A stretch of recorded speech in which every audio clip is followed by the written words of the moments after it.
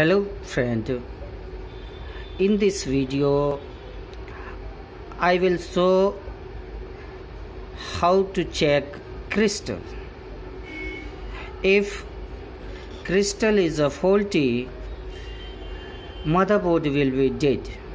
So how can check crystal okay or not okay? In this video how can check crystal with the help of CRO machine. So we have to correctly check our crystal frequency generating or not generating. First first main thing is a, here is a three types of crystals uh, you can see. Here here is your main crystal can see here is a coding y5 y y coding is a crystal. You can see here is a mention 32 point something megahertz. You can see if this crystal is a faulty motherboard will be does not on. So here is a one crystal then you can see this crystal related to IO this crystal is related to IO and uh, this crystal is uh, related to south bridge okay? And uh, here is a one also crystals you can see nearby LAN section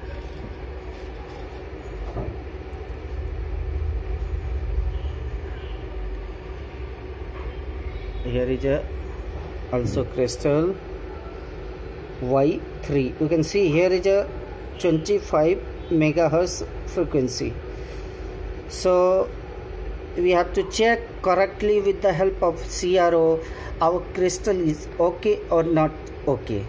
If if this crystal faulty and this crystal faulty motherboard does not turn.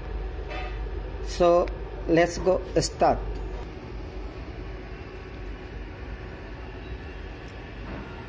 here is a main crystal.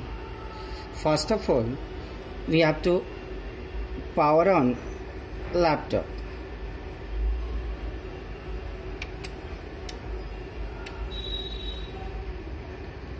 Body will be on. First of all you have to check here. You can see on CRO there is a showing exact frequency 32 point uh, something megahertz. Okay? That means that crystal is uh, okay. You can see here again.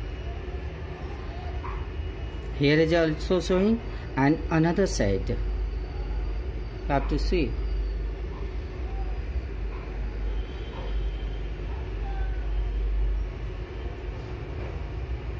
there is also showing 32.76 kilohertz. That means that crystal is uh, okay.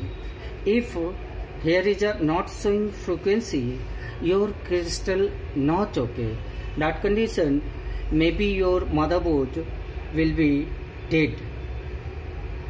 In this condition every supply is okay but motherboard does not turn okay so we have to check another crystal. Here is a another. This signal is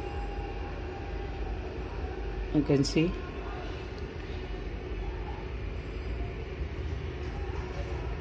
Here also showing. And now we have to check LAN crystal. We have to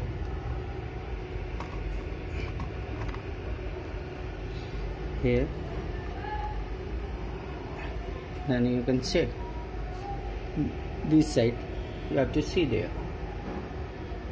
There is also showing. That means LAN crystal also okay. Okay. So with the help of CRO you have to confirm crystal okay or not okay okay thank you